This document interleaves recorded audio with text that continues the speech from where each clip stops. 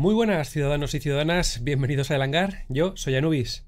Bien, pues bueno, como os escribí el otro día en Twitter, ayer o así, em, bueno, básicamente el resumen es que en el último capítulo de noticias estuvimos hablando ¿no? de esas actualizaciones del roadmap, cuando me di cuenta, eh, justo después de publicarlo, que hicieron el cambio, un cambio radical de, de lo que es el roadmap. Eh, ¿Por qué esto? Voy a explicar un poquito por qué está este cambio y qué cosas han cambiado y ahora vamos a hacer una revisión pasito a pasito. En primer lugar, bueno, ¿por qué, por qué este cambio tan drástico? Sabéis que eh, a principio de año siempre se reúnen, por eso al principio nunca hay Inside Star Citizen, tardan un poquito en coger el ritmo, se reúnen, eh, se sientan y empiezan a hablar qué es lo importante, qué es lo que no es importante y, empiezan a decidir, bueno, cuándo hacer cosas, cuándo no, etc. Y básicamente lo que tenemos ahora eh, sobre la mesa es el resultado, ¿no? De lo que ellos creen que, que tiene que tener prioridad y de cosas, pues, que no la tienen. Así que, sin dar mucha vuelta, tenemos aquí eh, esta imagen que como sabéis la diseña Odysseus 1992, que es un ciudadano que, pues, hace esto. Y, bueno, básicamente... Eh, vamos a ver. Pero tenemos la 3.8 terminada. Yo creo que a lo mejor con mi cabeza aquí, justo aquí no vais a poder ver, pero vaya. Aún así, eh, este, este archivo está en Twitter. Está también repartido en otros sitios y creo que os puedo dejar un link. En cualquier caso, vamos a verlo. Para la 3.9, la 3.8 ya está eh, publicada. Sabéis que para la 3.381, 38, no, la 381 acaba de salir, ha metido la Cutlass Red. Para la 382 debería de meter la Carrack.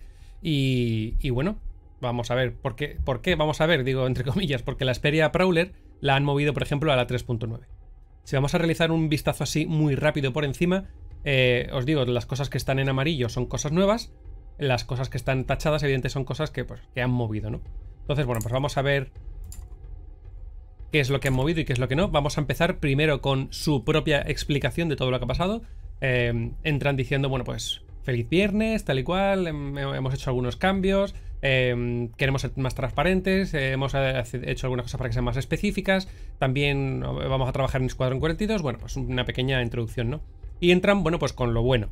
Em, en cuanto al universo persistente, las recompensas eh, player versus player, o sea, jugador contra jugador, y después las recompensas eh, de, cazar recompensas, bueno, pues eh, están ya em, puestas en pulido, es decir, están terminadas, un avance, y aunque las han movido a la 3.9, están siendo pulidas. Bien, pues perfecto, es algo que está terminado. Después también han añadido al roadmap, a la 3.9, una serie de, tarjetas, ¿no? Que, que es, veis todo lo que está aquí puesto, ¿no? Que es eh, combate en alta velocidad, que básicamente es eh, que haya una diferencia en combatir despacito, combatir rápido, que exista realmente unas consecuencias al, hacerlo, una serie de restricciones, eh, bueno, generalmente ir más rápido crea una vulnerabilidad, etcétera, ¿no? Bueno, pues vamos a ver, están trabajando en ello. Después una nueva, una nueva metodología, una nueva manera de seleccionar objetivos, lo cual me parece interesante, son mejoras a la interfaz, mejoras a la visibilidad y son mejoras, bueno, pues la verdad es que está bien porque a veces puede resultar un poco confuso, pero bueno.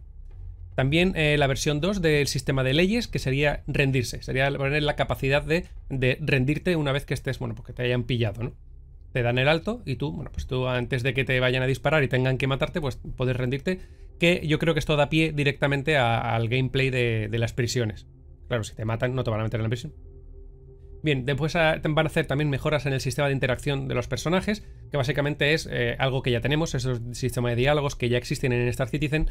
Básicamente lo que están haciendo es darle eh, un pulido, ¿no? Para que quede mejor, mejorar la interfaz, mejorar algunos elementos, eh, etcétera, ¿no? Pues también trabajando en ello.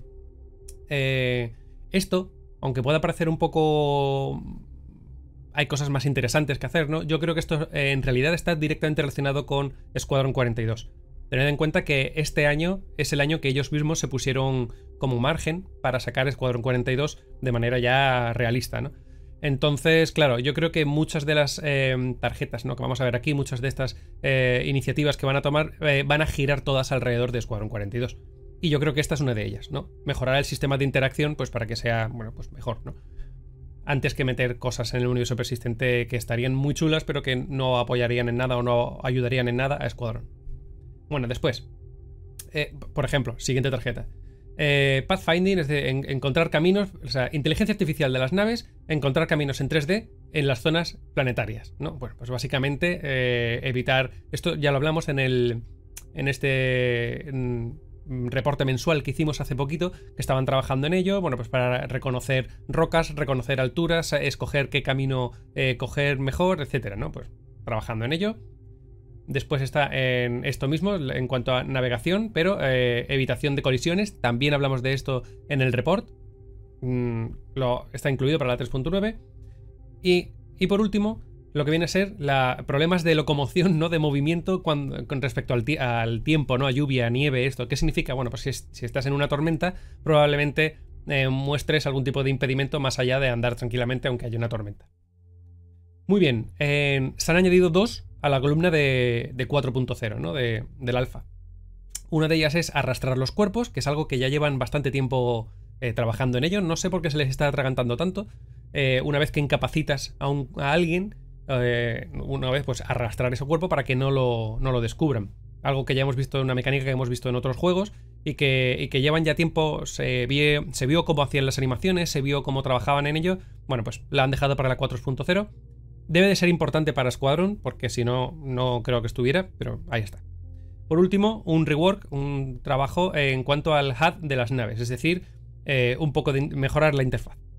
Esto siempre, siempre están dando vueltas un poco en este tipo de trabajo porque lo que quieren es que eh, la información que tengamos sea buena, eh, que sea útil y que no esté toda la pantalla llena de cosas, ¿no? Porque al final eso te impide ver mm, lo realmente importante, te impide ver más allá de bueno, lo que estás buscando, el espacio etc. Por último, bueno, último, pero no menos importante. Y, aquí es donde la mayoría de la gente está como, vale, habéis añadido cosas, habéis cambiado cosas, habéis tomado una serie de decisiones para, hacer las cosas bien. Pero todo lo que tenéis en pantalla ahora mismo, creo que está aquí, no lo sé, no sé en qué la me queda. Todo lo que estáis viendo en pantalla eh, son cosas que han quitado. Han sido eliminadas directamente. La verdad es que son demasiadas, son muchas. Yo no sé si el problema era que se emocionaron cuando hicieron el roadmap la primera vez o, que realmente quieren ser realistas, están viendo que están tardando mucho en hacer X cosas y prefieren dejar estas para más tarde o... Bueno. La verdad es que... Por ejemplo, eh, alguna de las armas han sido, según esto, ha sido movido para la 4.0. Eh, de estas han sido... Eh, otra, las, la mayoría de estas de esas cosas son las que dijimos en el último roadmap. Eh, la pistola eléctrica movida a la 4.0, eh, reparar, eh, repostar y, recargar. Bueno, pues esto es una cosa que, desde el punto de vista de juegos es una serie de mecánicas que estamos ya desde hace mucho tiempo esperándolas para el universo persistente. Pero después, ellos mismos dicen, después de reevaluar las prioridades, la decisión ha sido tomar temporalmente, pues quitarla eh, hasta que se decida volver a, a, ponerla. Todo esto evidentemente a lo mejor no está pensado para Squadron 42.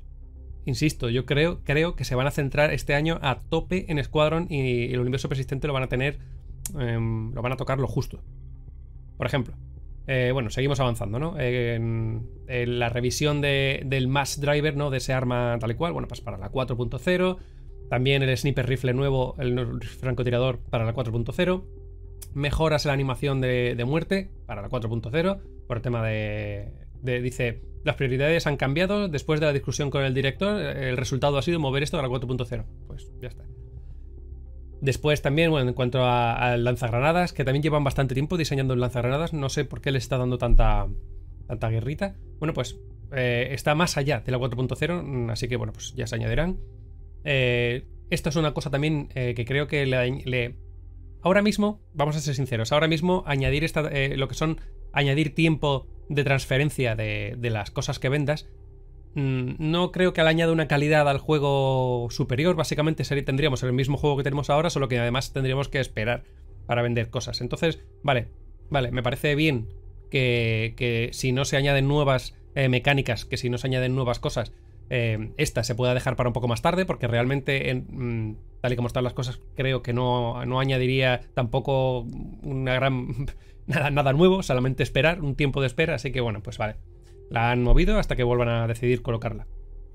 Eh, eh, la, aplicación de accounting, no, la aplicación de, para, tu, para tu reloj, ¿no? Para el móvil Glass, para que salga ahí todo el tema de economía, fiscalidad, etcétera. Bueno, pues como una serie de cosas relacionadas que eran, entre otras, pues esos tiempos de añadidos, el tema de, los display, ¿no? De los terminales para la economía, todo eso, pues ha sido retrasado. Así que ha sido retrasado en bloque, hasta que se vuelva a decidir cuándo. Pero para mi gusto, lo peor de todo, con diferencia, ha sido el sistema eh, dinámico de emisiones que se generarían según la economía. Es decir, ese primer pasito, ¿no? Con, con los Quantum, ¿no? Que, o Quanta, o Quantum que diseñó Tony Surbeck, que ya habéis visto que hemos hablado de él, em, que me hacía mucha ilusión que esto entrase cuanto antes dentro del universo persistente. Bueno, pues directamente dice el trabajo ha sido transferido a un equipo diferente, lo cual eh, resulta en que lo han retirado del roadmap hasta que, bueno, que hasta, que las prioridades digan que sea el nuevo, el nuevo objetivo de nuevo y volver a colocarlo. Bueno, vale, pues esa es la explicación que nos dan. Nosotros no lo tenemos que creer. Es, es una guarrada, vamos a decirlo así. A mí no me gusta que lo hayan hecho, pero es lo que hay. Por otra parte, insisto, voy a, ser como muy... Eh, voy a volver constantemente a lo mismo. Creo que esto es que no tiene nada que ver con Escuadrón 42. Entonces, sí, están centrando todas, no todas, la mayoría de sus energías, recursos, tiempo, dinero, gente, en terminar Squadron 42 dentro de una fecha razonable, porque eh, se va a retrasar, em, bueno, pues el resultado es que hay que quitar cosas. Y esto, que es algo muy pro para el universo persistente, no tiene nada que ver, es, eh, pero cero patatero, con eh, Squadron 42. Entonces, pues, fuera.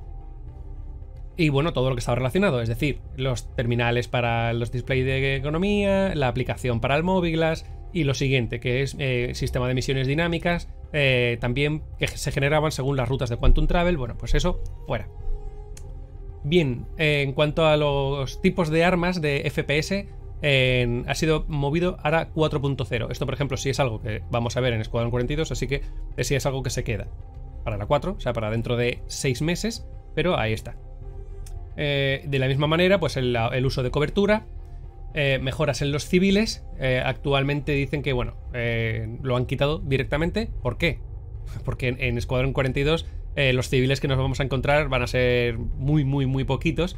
Y la mayoría del tiempo lo vamos a pasar en sitios más, más en nave o explorando sitios con problemas, con gente, con guerra, con bandidos. O sea, es decir, es más importante los tipos de armas y el uso de cobertura antes que sencillamente los civiles. Por lo tanto, estos han sido movidos a las 4.0 y las mejoras en los civiles pues hasta que se decida. Xperia Prowler. Bien, fue... Esto ha sido feillo. Pero bueno, eh, fue planeada que fuera publicada la 38X, ¿no? Más o menos para marzo. Pero han evaluado, ¿no? Eh, cómo van las cosas y eh, creen que no, que no puede ser que no sea realista, así que van a dejar para la 3.9. Básicamente. Más, que nada porque la 3.9 debería salir en marzo. Entonces dice, si vamos a sacar la 3.8 o algo para marzo, pues para eso lo sacamos en marzo directamente con la 3.9 y, nos dejamos de tonterías. Claro, para aquellos que dispongáis de una Xperia Prowler, pues es un, un pellizquito aquí como... No mola, no mola que hagan tantos retrasos. Pero bueno, de todas maneras, la Xperia Prowler es una nave de transporte de tropas. Tampoco es que tenga un gameplay eh, muy aplicado, más allá de que la nave esté chula. Bien, Cutlass Blue es la versión policial de Cutlass que tiene algo más de armadura, algo más de armas y eh, también celdas dentro para meter dentro. Yo creo que muy probablemente pueda ser usado también por recompensas Yo lo haría. Vamos a ver. Eh, en cuanto al gameplay y la funcionalidad asociada con la Cutlass Blue, dice que bueno, que la decisión ha sido temporalmente retirar esta carta del roadmap hasta que concluya la discusión Básicamente, ¿qué implica esto? Bueno, como el tipo de eh, PvP que existe ahora mismo en el juego, esos cazarrecompensas, ha sido retrasado, pues tener una nave que te permite ese tipo de mecánicas, pues retrasada con la mecánica al completo. Mm, bueno, pues ya está. Bueno, aquí viene también otra, otra serie de cosas que, no molan mucho. Eh, por ejemplo, eh, el rol del piloto expandido, ¿no? Para multitareas. Dice que esto actualmente no está representado correctamente, ha sido eh, retirado del roadmap. van a, podemos esperar una versión más realista o más centrada en lo que realmente es esta, esta tarjeta, ¿no? Una vez que se reevalúe el trabajo que se necesita. Bueno, pues.